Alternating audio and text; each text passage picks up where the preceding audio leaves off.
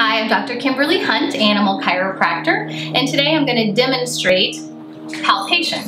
And what palpation is, it's checking to make sure that every joint in the body is moving properly. And the reason that we want it to move properly is because if a joint does not move, it cannot keep itself healthy.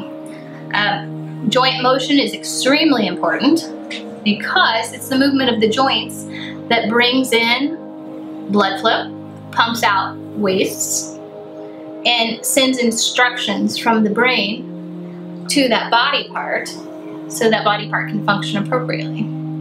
And so all I'm doing is I'm taking each joint um, through its natural range of motion and making sure that it's not stuck. Here we go. Check the shoulders. This is my superstar dog, Louis Dice. He's one of my patients. Whoops.